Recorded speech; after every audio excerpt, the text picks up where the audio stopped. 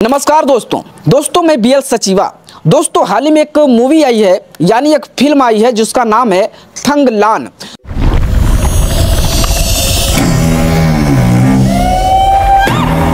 दोस्तों, साउथ की इस मूवी ने पूरे बॉलीवुड को हिला कर रख दिया है, इनकी जड़ें कबार दी है, इनकी नसें कबार दिया है। तो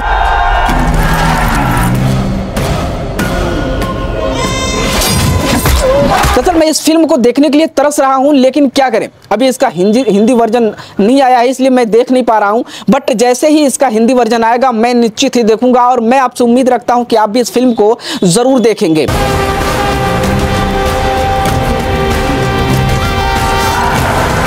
और देखना भी चाहिए, क्योंकि यह फ़िल्म किसी काल्पनिक पात्र पर नहीं बनाई गई है, बल्कि यह फ़िल्म एक वास्तविक इतिहास पर रची गई है।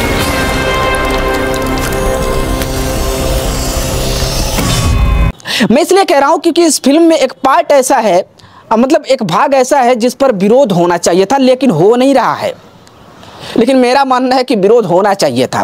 क्योंकि हाल ही में कई फ़िल्में रिलीज़ हुई हैं जैसे कंगना रनौत की इमरजेंसी जिसको लेकर काफ़ी विरोध जताया जा रहा है। और हाल ही में एक फ़िल्म और रिलीज़ हुई है अ, कंधार हाईजैक।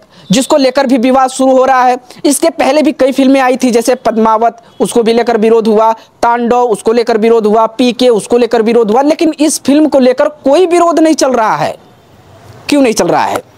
दरअसल मैं आपको बता दूँ, इसका रीज़न ये है कि जब फ़िल्मों में कोई उटपटांग चीज़ें डाली जाती हैं, फेक डाली जाती हैं, जिसका इतिहास से कोई लेना देना नहीं है, तब फ़िल्मों का विरोध होता है।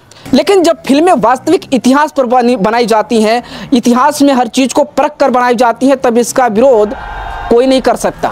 हाँ भाई, कोई अपनी माई का लाल ही पैदा नहीं होता है कि इस फ़िल्मों का विरोध कर पाए। और शायद यह फ़िल्म भी इसी तरह के कुछ ऐतिहासिक तौर पे बनाई गई है।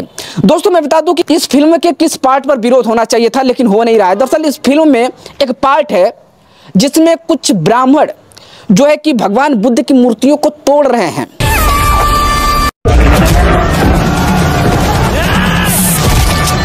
यहीं पे विरोध होना चाहिए था, लेकिन हो नहीं रहा है।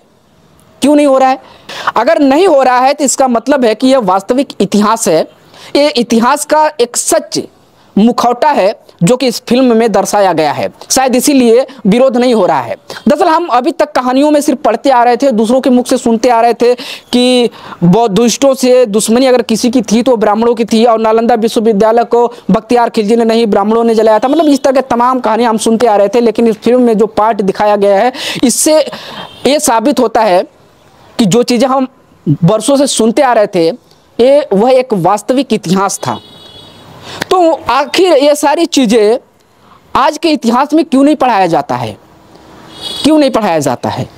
इसका मतलब है कि जिन लोगों ने इतिहास रच रच कर हमें भ्रमित कहानियाँ सुनाते रहे, दरअसल वही लोग इस वास्तविक इतिहास को मिटाने की कोशिश किया। मुगलों के पीछे खड़ा होकर तो कभी अंग्रेज़ों के पीछे खड़ा होकर।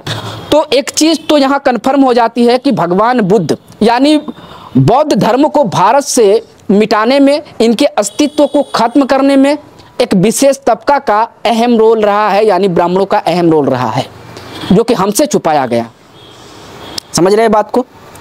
तो मुझे लगता है ये चीज़ें सच है। इस फ़िल्म में और भी बहुत सारे पार्ट ऐसे हैं, और भी बहुत सारी कहानियाँ ऐसी हैं जो वास्तविक इतिहास को दर्शाती हैं, और मुझे लगता है कि इस फ़िल्म को सभी बहुजन समाज के लोगों को देखना चाहिए।